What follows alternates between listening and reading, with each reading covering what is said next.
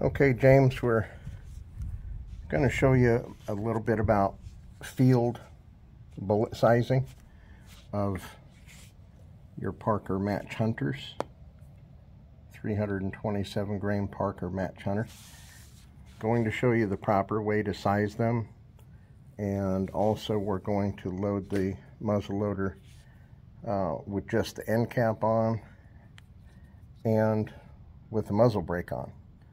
Just so happens I left the funnel at home, so I'll show you the process of using the powder funnel at home and not on the range, but basically you just put the funnel through the ventilated brake and the powder won't fall out because the funnel is long and it touches the muzzle of the rifle.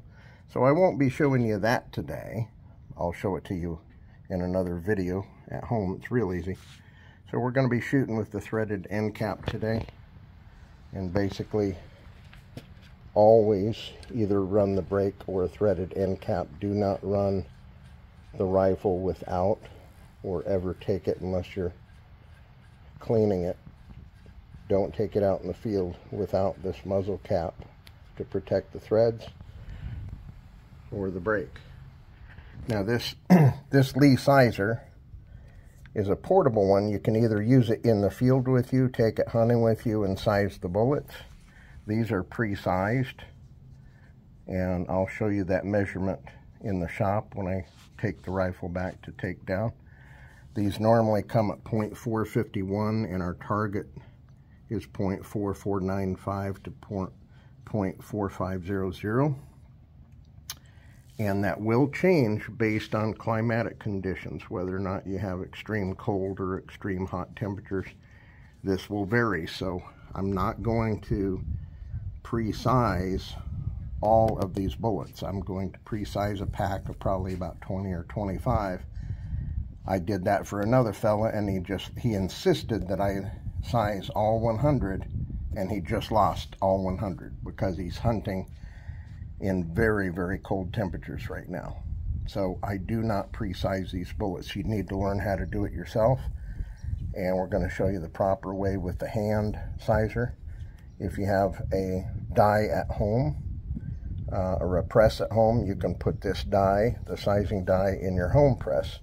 But this works just as effectively. It's just portable. Again, these are pre-sized.